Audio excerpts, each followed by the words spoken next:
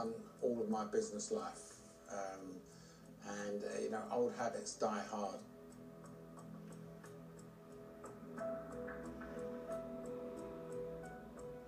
Technology has been my best friend for over 50 years.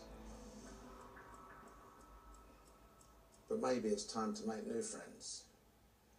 And so, Joseph, you are going to be my business. Yay!